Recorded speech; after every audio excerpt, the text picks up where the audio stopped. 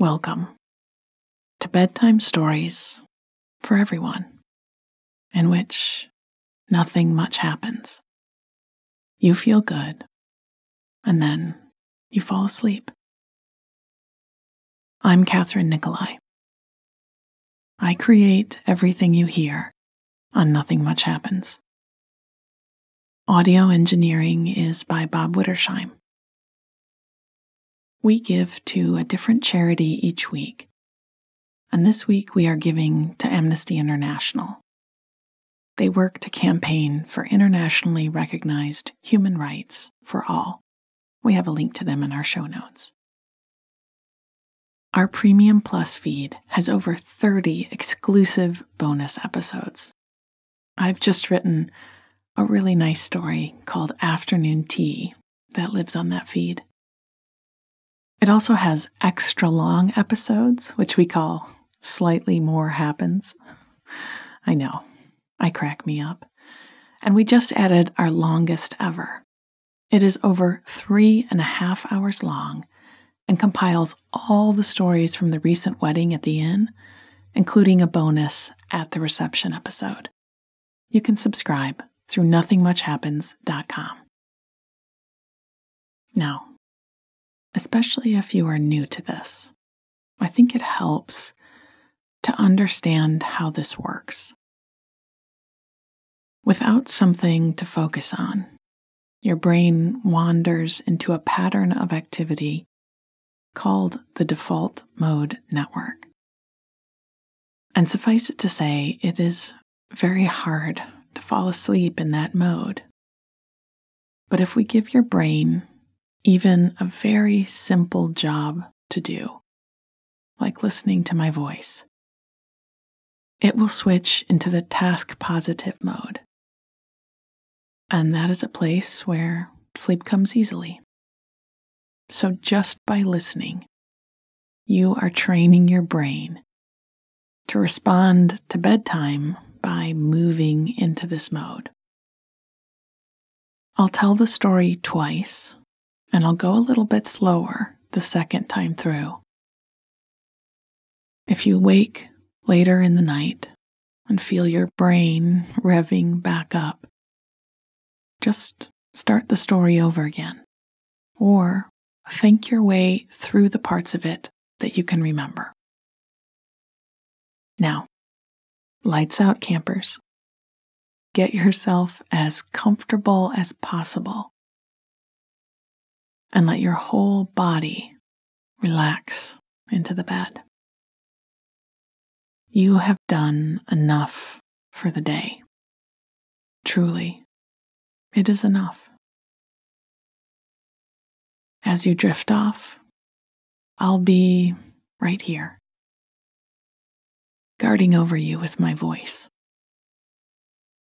Now draw a slow, deep breath in through the nose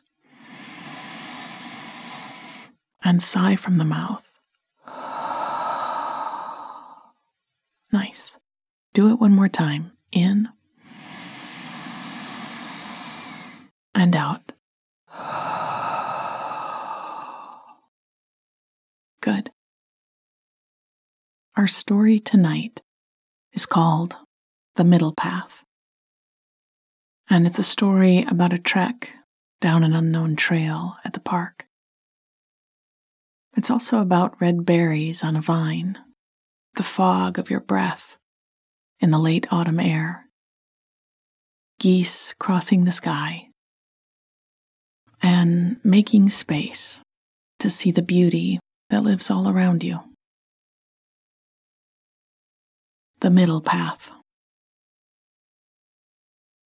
There was a thin sheen of frost on the ground this morning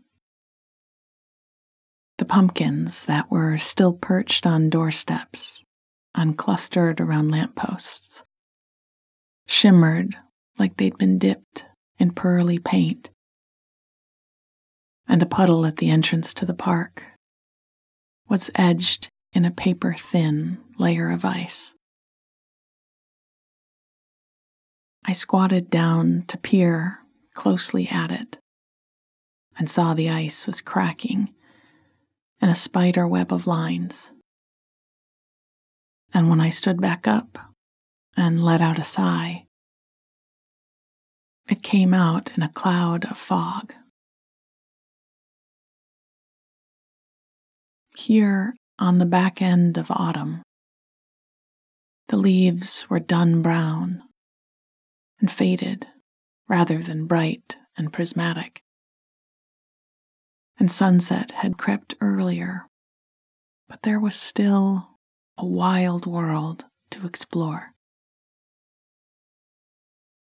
Last winter, I'd started finding a way to get outside every day, to get some fresh air and light on my face even if I had to bundle up as if I were preparing for a spacewalk and move other commitments to the back burner. Once I'd found a rhythm for this new habit, it hadn't actually been difficult to keep up. In fact, I found, even on quite cold days, I craved it. To feel my legs pumping, to taste the cold air on my tongue, to feel warmth work through my limbs as I moved. One of the ways I kept my daily excursions fun and enjoyable was to go to different places as much as I could.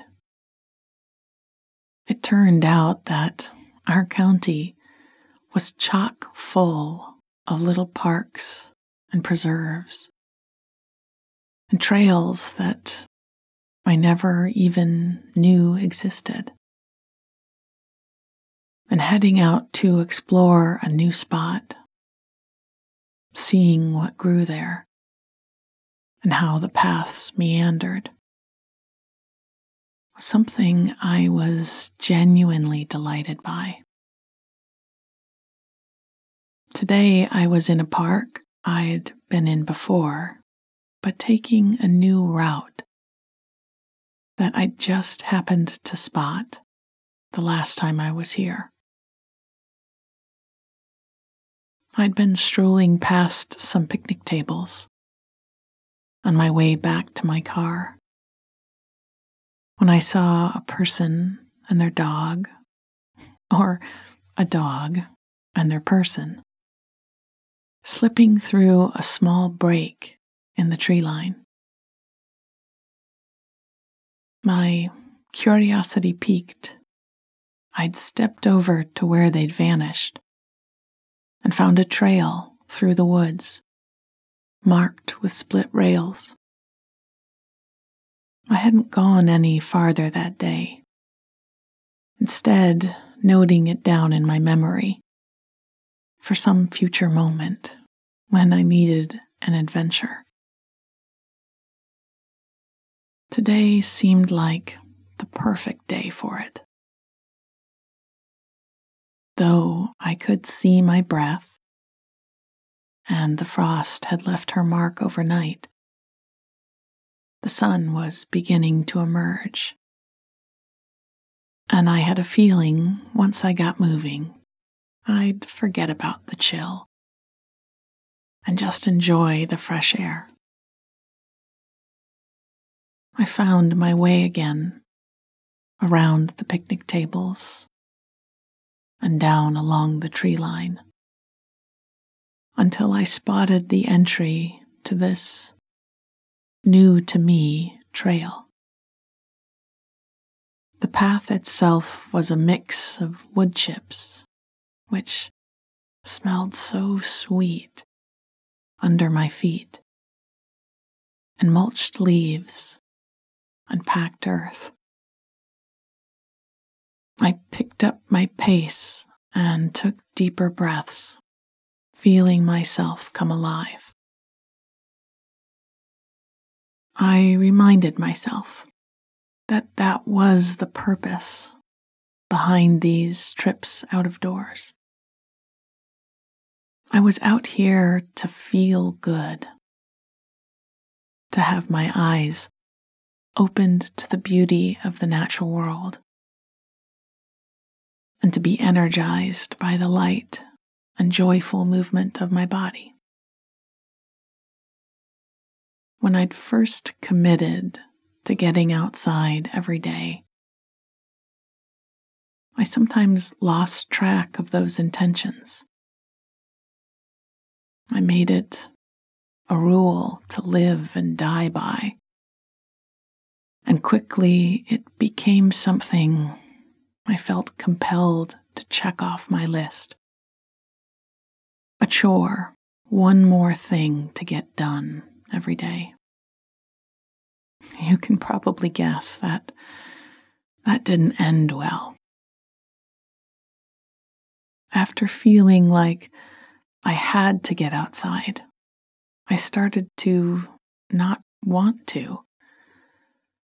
And you can only make yourself do things you don't want to do for so long. I'd zigged so doggedly that now I zagged and abandoned my walks completely for a while.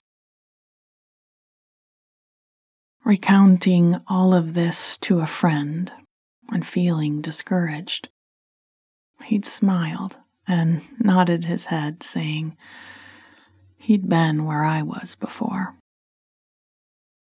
He told me to seek out the middle path. You're trying too hard, he said. It had proved to be excellent advice. I took away the pressure to get outside, put no expectation on myself to make it happen, and very soon I found I was craving a walk just because it sounded good. So I asked myself where it might be nice to trek and found a ready answer in my heart. And my trips to local parks recommenced. While I walked, I listened to my legs. When they felt tired, I walked more slowly. I stopped at benches and sat and watched the birds in the trees. I slowly rebuilt this habit around what felt good to my body. And suddenly it became something I got to do rather than had to do. when I caught a cold in the winter. I made my trip outside a nap by the window. When the weather had truly been too snowy and icy to walk, I'd gone to the conservatory and visited the orchids. Now that I was on the middle path, I had room to adjust and it made all the difference. I was thinking of this as I followed the trail through the trees. The light was changing, and I found myself stepping out into a meadow. In front of me, the earth sloped down in a soft descent and in the distance I could see farmland, cleared for the season and bordered by a stone wall. I turned in a slow circle, taking in the line of the forest, the fields, the open sky with a wedge of geese flying above me. I was so glad I made time for this kind of enjoyment. I looked down at the trail and chuckled to myself at what I saw. The path diverged. It ran to the left, back into the forest. To the right, up higher into the hills. And of course, right down the middle. Through the meadow and along the fields. Well played, I said to. I wasn't sure who, maybe just myself. So I took the middle path and followed it down through the native grasses, which had grown high over the summer and were now drying in place, making homes of themselves for pollinators and other creatures. Red berries were growing on a vine that crept over the stone wall, and birds swept down to eat them. In a distant field, scarecrows stood watching over the now mown down crops. And beyond that, I squinted to see it. The sails of a windmill turned slowly. This was the beauty of the middle path, of not pushing or forcing Instead, I had just made space for beauty to become visible. And now I found it most anywhere I went. The middle path. There was a thin sheen of frost on the ground this morning the pumpkins that were still perched on doorsteps and clustered around lampposts shimmered like they had been dipped in pearly paint. And a puddle at the entrance to the park was edged in a paper thin layer of ice. I squatted down to peer closely at it and saw the ice was cracking in a spider web of lines. And when I stood back up and let out a sigh, it came out in a cloud of fog. Here, on the back end of autumn, the leaves were dun brown and faded rather than bright and prismatic. And sunset had crept earlier. But there was still a wild world to explore. Last winter, I'd started finding a way to get outside every day, to get some fresh air and light on my face.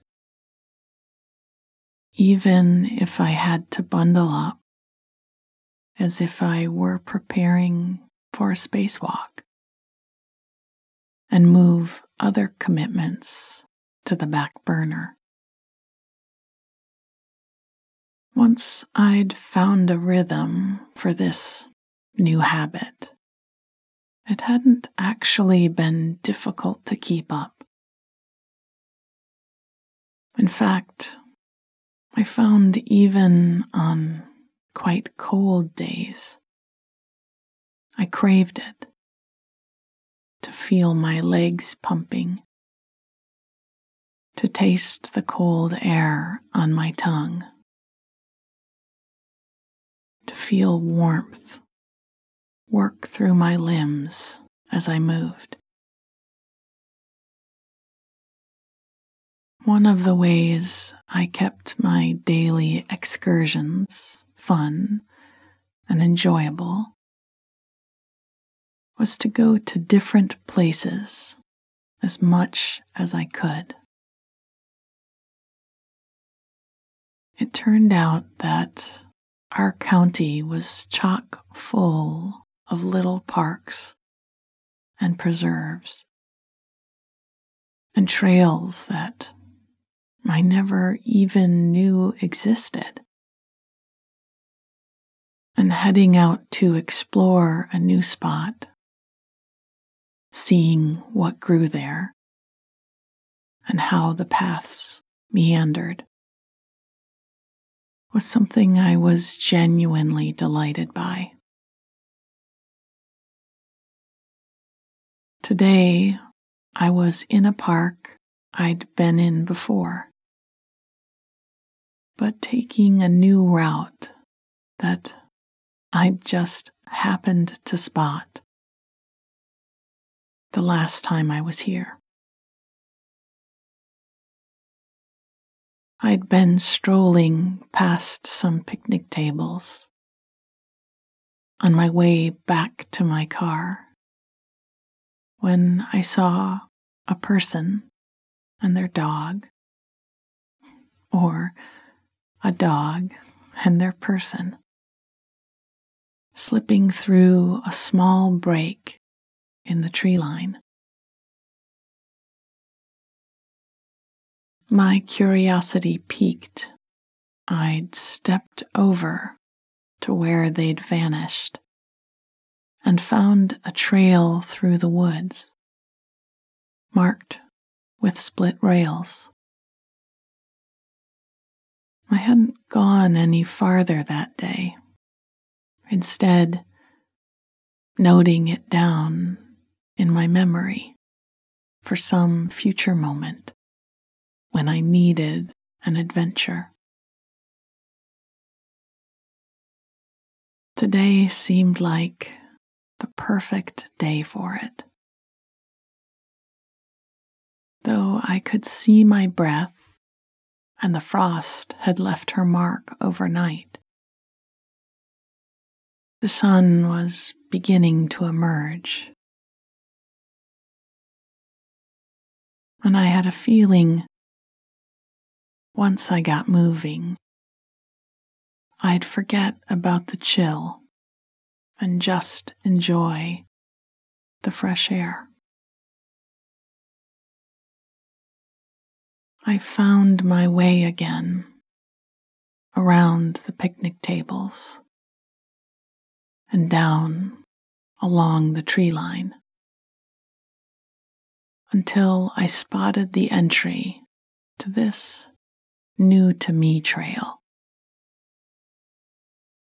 The path itself was a mix of wood chips, which smelled so sweet under my feet,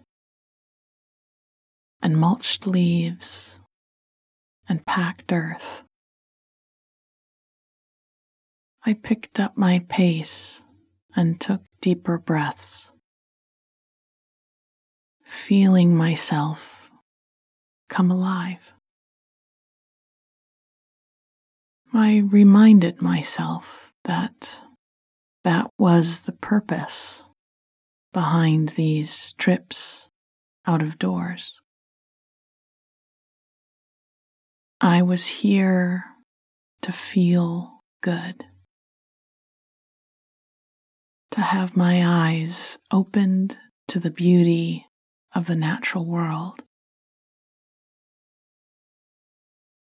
And to be energized by the light and joyful movement of my body. When I'd first committed to getting outside every day,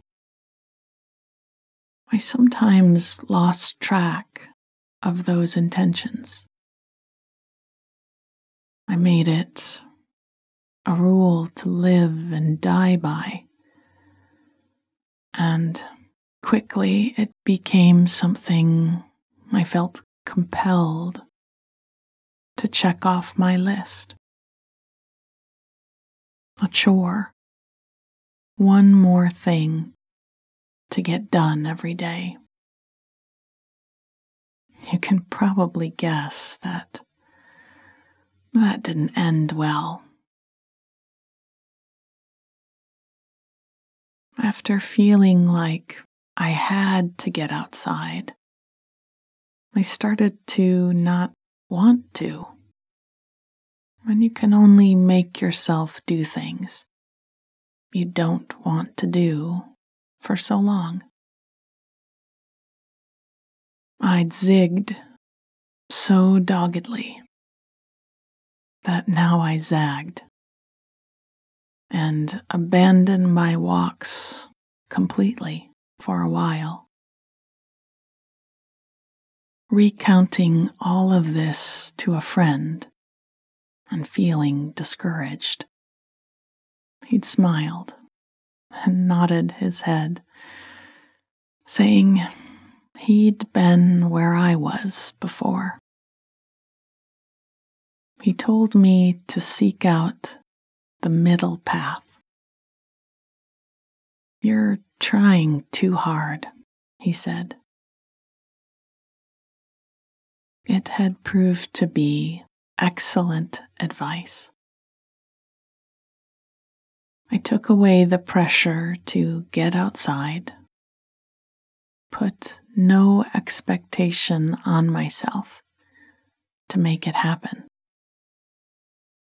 And very soon, I found I was craving a walk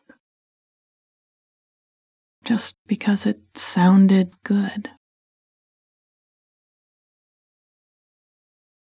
So I asked myself where it might be nice to trek and found a ready answer in my heart. My trips to local parks recommenced. While I walked, I listened to my legs. And when they felt tired, I walked more slowly. I stopped at benches and sat and watched the birds in the trees. I slowly rebuilt this habit around what felt good to my body. And suddenly it became something I got to do rather than had to do. When I'd caught a cold in the winter, I made my trip outside a nap by the window. When the weather had truly been too snowy and icy to walk, I'd gone to the conservatory and visited the orchids. Now that I was on the middle path, I had room to adjust, and it made all the difference. I was thinking of this as I followed the trail through the trees. The light was changing. And I found myself stepping out into a meadow. In front of me, the earth sloped down in a soft descent. And in the distance, I could see farmland, cleared for the season and bordered by a stone wall. I turned in a slow circle, taking in the line of the forest, the fields, the open sky with a wedge of geese flying above me. I was so glad I made time for this kind of enjoyment. I looked down at the trail and chuckled to myself at what I saw. The path diverged. It ran to the left, back into the forest, to the right, up higher into the hills, and of course, right down the middle, through the meadow and along the fields. Well played, I said to. I wasn't sure who. Maybe just myself. So I took the middle path and followed it down through the native grasses, which had grown high over the summer and were now drying in place, making homes of themselves for pollinators and other creatures. Red berries were growing on a vine that crept over the stone wall, and birds swept down to eat them. In a distant field, Scarecrows stood watching over the now mown down crops. And beyond that, I squinted to see it. The sails of a windmill turned slowly. This was the beauty of the middle path not pushing or forcing. Instead, I had just made space for beauty to become visible. And now I found it most anywhere I went. Sweet dreams.